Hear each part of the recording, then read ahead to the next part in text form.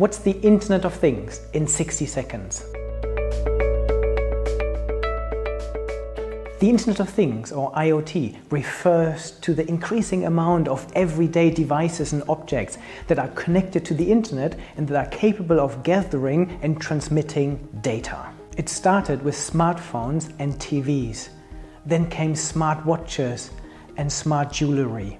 Today we have Internet of Things devices in our homes, like our thermostats, our smart cameras, our smart doorbells, and many other white goods that are now connected to the internet.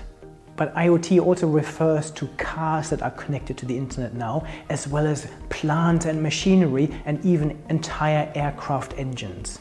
The ability to process data is making these devices increasingly intelligent and autonomous. Think of an intelligent street light that can detect car accidents or smartphones that collectively can detect earthquakes. We already have more Internet of Things connected devices in the world than people and this is only going to explode. Soon we'll have smart everything. Thanks for watching. Subscribe to my channel for more bite-sized insights or to dive deeper into the topic you can find longer explanations and in-depth discussions.